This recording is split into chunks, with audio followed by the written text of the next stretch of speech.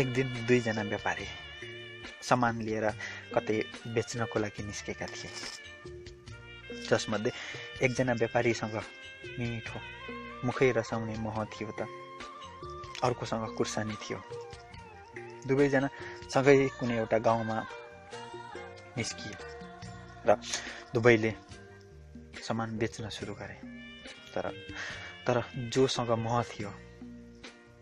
उसले आफूसँग ल्याएको महसम्म बेच्न सकेन र खाली हात फर्कनु पर्यो भने जसले खुर्सानी लिएर आएको थियो।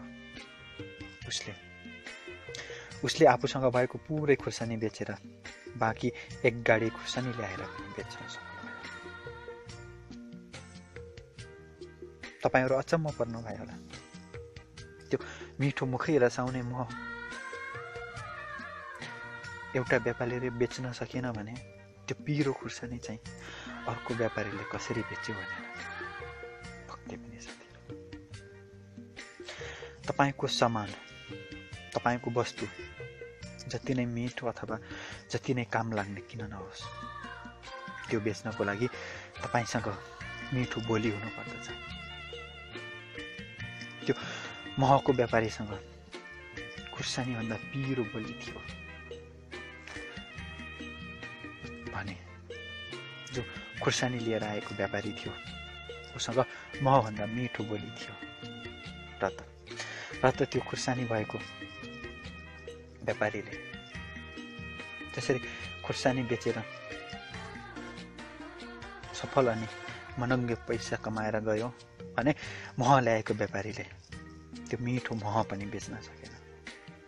भन्ने गरिन्छ नि बोली र मुस्कान नै हाम्रो गहना हो। तपाईँ जतिसुकै राम्रो किन नहुनुहोस्। तपाईँसँग जतिसुकै राम्रो चिज किन नहोस्। तर तर मान्छेहरू तपाईँको मिठो बोली र मुस्कान मन पराउने गर्दछ। त्यही बोली हो जसले हामीहरूलाई मित्रतामा घाँसेको हुन्छ। त्यही बोली हो जसले हामी अरू बिच दुश्मनी बनाएको हुन्छ। बोल्दा मिठो बोलिदिनुहोस् न। अगाडिको मान्छेलाई पनि खुसी अनि आनन्द लाग्छ। तपाईँको तपाईँको केही जाने त होइन। त्यसैले सबैको आधार अनि सम्मान गर्न सिकौँ मिठो बोलौँ। सबैले सबैले तपाईँलाई मन पराउनेछ। भलो भलो त्यसैको हुन्छ जो राम्रो हुन्छ। धन्यवाद। साथीहरू आजको यो मेरो भिडियो कस्तो लाग्यो?